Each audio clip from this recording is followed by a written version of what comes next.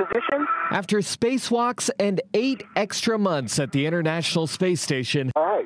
One, two. NASA says astronauts Butch Wilmore and Suni Williams could be back by mid March instead of the end of March or early April.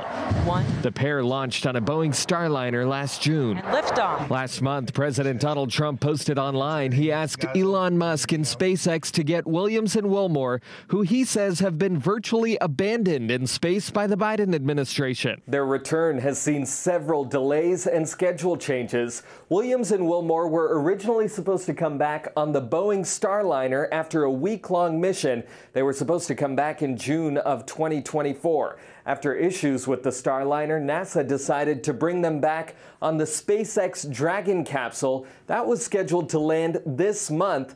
NASA delayed that to late March or early April of this year. Now they've moved that up and decided on mid March. Now we have plenty of clothes. Uh, we are well fed. NASA says Williams and Wilmore's replacements will get to the International Space Station about two weeks earlier. SpaceX chose to fly an older, already certified capsule instead of a new one. Merry, Merry Christmas. Christmas. The astronauts insist they don't mind the extra time in space and have plenty of work to do. It's it's just been a joy to be working up here. And with extra time on board, Williams set a new spacewalk record for female astronauts. Now NASA says she'll be back walking on Earth a few days earlier than expected. In Washington, I'm Vinay Simlot.